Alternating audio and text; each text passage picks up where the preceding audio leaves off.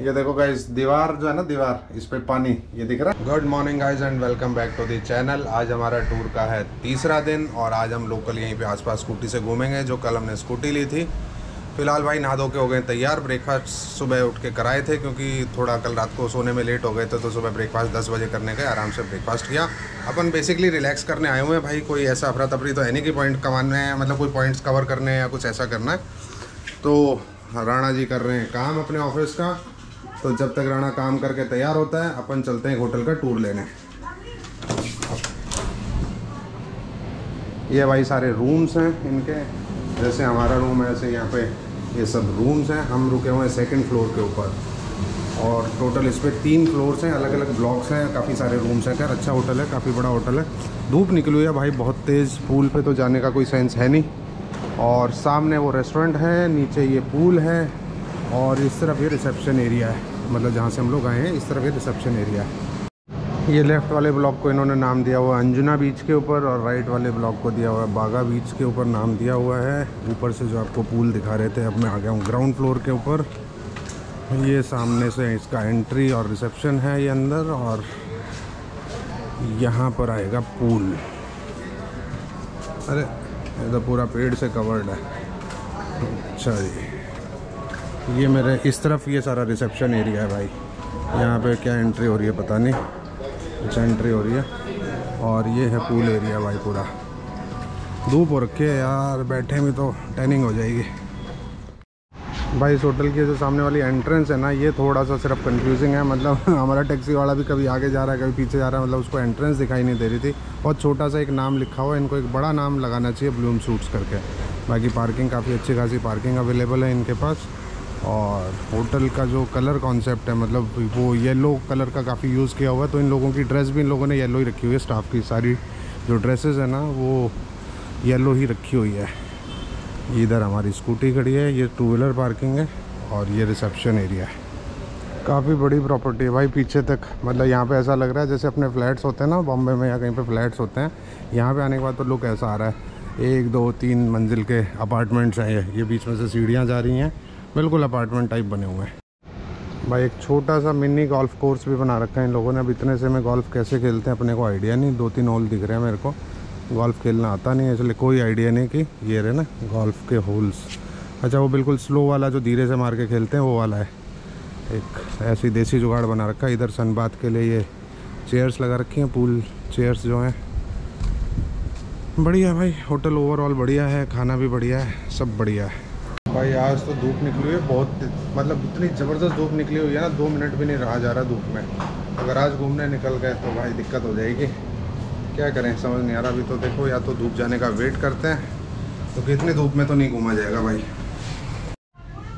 ये दीवार का जो पानी है ना भाई, ये बह बह के इकट्ठा हो गया। देखो, नीचे फर्श पर पानी इकट्ठा हो गया। मतलब पूरे किनारे किनारे पर पानी बाढ़ आ गई कमरे में। ये जो एसी का कंट्रोलर है ना, ये एसी का कंट्रोलर हमने मैक्सिमम पे कर रखा है फुल मैक्सिमम पे। और फ़ैन की स्पीड एक पे कर रखी है, उसके बावजूद भी भाई साहब, ये देखो, दीवारों पे भी पानी जमा हुआ है। मतलब ये जो एसी लगा हुआ है ना, इनका सेंट्रलाइज ये वाला, ये अपने ही पेस पे चलता है, इसको कोई लेना देना नहीं है टेम्परेचर कंट्रोल से और किसी चीज़ से। मतलब ये ऐसा ठंडा रखता है, भाई पूछो मत, ये देखो शीशों का हाल, ये शीशों के ऊपर पूरी मिस्ट जमी हुई है, इधर ये देखो, ये वाली।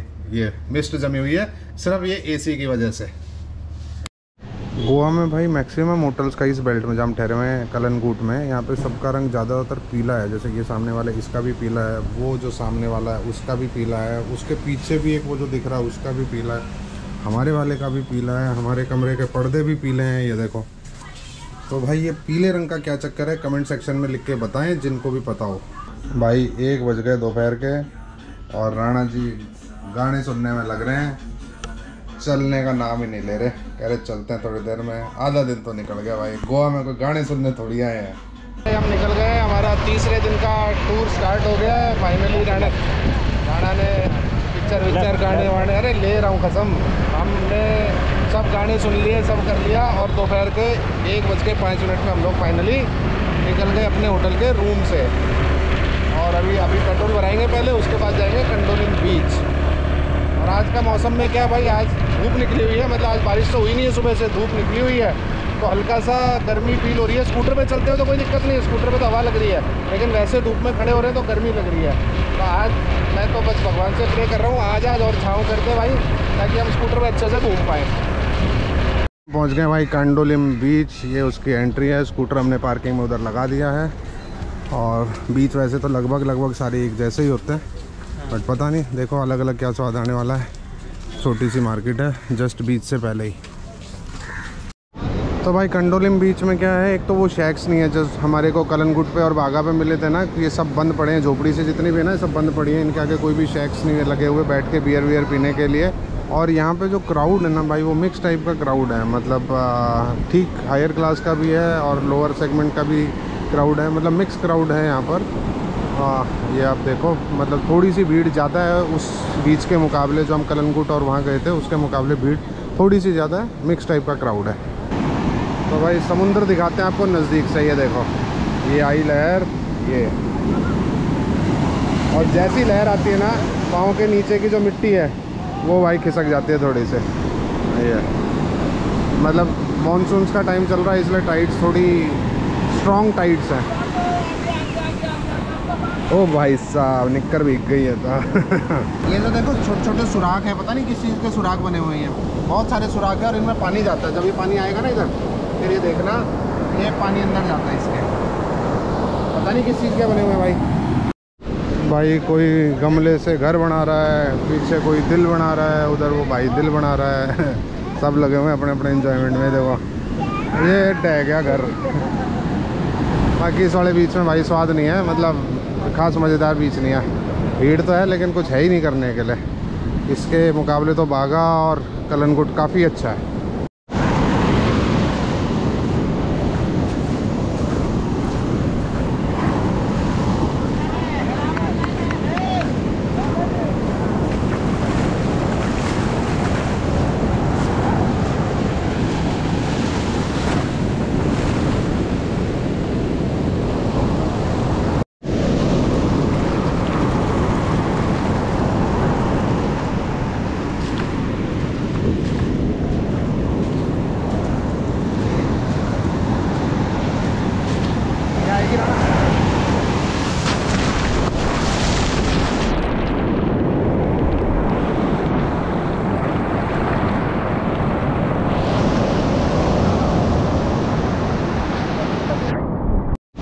सामने एक जो भाई साहब हैं, ये थोड़े जोशीले से लग रहे हैं। एकदम फॉर्म में आ गए हैं। समुंदर की लहरों में डूबने को तैयार। ये देखो। ये फुल मस्ती ले रहे हैं, फुल। क्योंकि तो लाइफ गार्ड की नज़रों से शायद दूर हैं ये। भाई साहब, वहाँ पे इनके तो हालत ख़राब हो गई। वो एक लेडी तो देखो गिर रही है और उनकी चप्पल गई। ये गई चप्पल उनकी। दो तीन जोड़ी चप्पल गई। एक एक एक एक पीस गए सबके। ये आ रही है, आ रही है और जा रही है। ये लहर वापस फेंक देती है, फिर चली जाती है भीतर।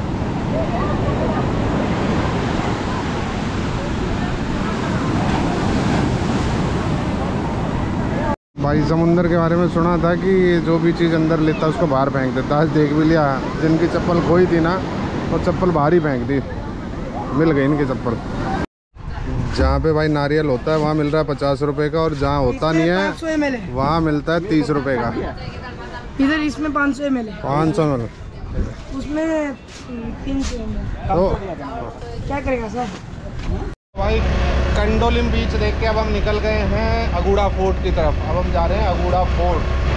वैसे तो हमारे राजस्थान के मुकाबले क्या ही फोर्ट होगा छोटा मोटा फोर्ट होगा जो फोर्ट राजस्थान में होते हैं उनका तो मुकाबला ही नहीं है। देखते हैं भाई गोवा में कैसा फोर्ट होता है। और भाई वेदर का अगर आज का अपडेट देना है तो आज का वेदर है गर्म है ना पसीने पसीने हो रखे हैं, फुल धूप निकली हुई है। बारिश से थोड़ा सा तो परेशान थे, लेकिन मौसम अच्छा रहता था तो इतनी दिक्कत नहीं होती थी। पाँच सात मिनट बारिश आती थी, उसमें हम लोग फिर शेड में घुस जाते थे। लेकिन मौसम तो ठंडा रहता था। आज ज़्यादा परेशान हो रहे हैं, क्योंकि पसीने आ रहे हैं, दबा के, फुल भीग गए मतलब पसीनों से भीग गए दिक्कत तो भीग गए समुद्र के पानी से, लेकिन हम भीग गए पसीनों से।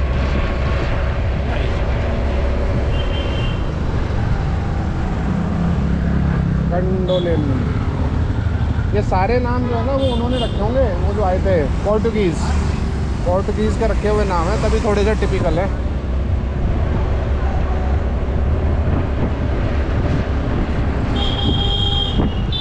ये सुपरमार्केट है। अच्छा अरे कितनी बड़ी सुपरमार्केट है। भाई साहब न्यूटन न्यूटन का एप्पल यहीं गिरा होगा। इतनी बढ़िया सुपरमार्केट है भाई। यार खाने पीने की तो फुल मौज है। यहाँ पे मतलब ड्रिंक की मतलब जिनको बियर वियर पीनी है, दिन भर मस्ती मारनी है फुल मौज है। ऐसा लगता है कि यहाँ पे काम वाम कोई करता ही नहीं है, सिर्फ़ दारू पीते हैं, खाना खाते हैं और बीच में सो जाते हैं। ये देख, सब पी रहे हैं, जितने बैठे हैं, सब पी रहे हैं भाई। भाई, इसका नाम है अगवादा फोर्ट, अगवादा। ओके ये फोर्ट है और सामने उसको क्या बोलते हैं, जो समुंदर किनारे होता है? अरे यार, कौन सा हाउस बोलते हैं? पिक्चरों में भी देखा हुआ है। बट ये तो अजीब सा ही फोर्ट है। राजस्थान टाइप का फोर्ट तो है नहीं। अंदर की फ़ीस है क्या ना अंदर? अच्छा अंदर खास कुछ नहीं है। समझ गया। पैदल पैदल घूमना है और यहाँ ऊपर जाना है, बस। तो भाई, अगवादा फोर्ट की जो टिकट है, ये इंडियंस के लिए तो है पच्चीस रुपये की और फॉरनर्स के लिए है तीन सौ रुपये की। सुबह नौ से साढ़े पाँच बजे तक खुलता है। लाइन लगी हुई है भाई टिकट के लिए। तो राणा जी ने कहा है कि अंदर जाने का कोई फ़ायदा नहीं है इसलिए हम अंदर जा नहीं रहे। राणा नहीं चले फिर? बोल। क्या? चले अंदर नहीं चले? नहीं जाना। कैंसिल भाई वो जो सामने है ना उसको बोलते हैं लाइट हाउस अब ध्यान आ गया लाइट हाउस भाई अंदर है क्या देखने लायक कुछ? क्या क्या कुछ? फोर्ट है फोर्ट अरे यहाँ पर फ़ोटोज़ अच्छा है और इसके अंदर कुछ वाटर रिजर्वायर टाइप है वाटर रिजर्वेशन अच्छा। दैट्स वेरी गुड और दैट्स वेरी गुड यार राजस्थान से हैं ये तो छोटे छोटे फोर्ट लग रहे हैं। छोटा छोटा राजस्थान से इट विल नॉट हाँ मतलब उसका मतलब हाँ। वेस्ट ऑफ़ मनी ओके तो भाई लोगों ने भी मना कर दिया भाई जाने के लिए कोई खास है नहीं एक्सपीरियंस तो अपन अंदर जा नहीं रहे। ये राणा जी के तमाशे पहले लगा रहा है टिश्यू और फिर लगा रहा है हेलमेट। एक वो रखा कर। वो क्या बोलते हैं उसको जो पूरा कवर कर लेता है। राणा जी ने कमाल संभाल ली है। भाई, ये रास्ते बहुत बढ़िया है। एकदम ग्रीनरी ग्रीनरी है इन रास्तों पे। अब हम एक बार जेल की तरफ़ जा रहे हैं। जेल को बाहर से ही देखेंगे। ये भाई लोगों ने थार ले रखी है किराए पे। और ये तोप रखी है जो शायद एक बार भी नहीं चली। ये वाली तोप एक बार भी नहीं चली है। सिर्फ़ डेमो के लिए रख रखी है। बनाई, जिस कारीगर ने बनाई, बस चला नहीं पाया वो। अब जेल को सिर्फ़ बाहर से देखेंगे राणा अंदर थोड़ी जाना जेल के। अंदर सिर्फ़ कैदी जाते हैं। पहले क्राइम करो। यार रास्ता कितना बढ़िया भाई कितना बढ़िया रास्ता है देखो। ये शायद कुछ किस चीज़ की entry पता नहीं। जेल का रास्ता नीचे तो नहीं जा रहा था? वही था तो भाई जेल वेल का प्रोग्राम कर दिया कैंसिल जहाँ पे बैरिकेड लगे हुए थे पार्किंग के वहीं से वापस ले लिया हमने तो अपना स्कूटर आगे जाने का मन किया नहीं। अब हम जा रहे हैं बीच पे, क्योंकि यहाँ देखने का मज़ा तो सिर्फ़ बीच का ही है और कुछ भी नहीं है। बीच देखो बस, वही सबसे बढ़िया है। ये चल रही है भाई ताज की प्रॉपर्टी इतनी बढ़िया।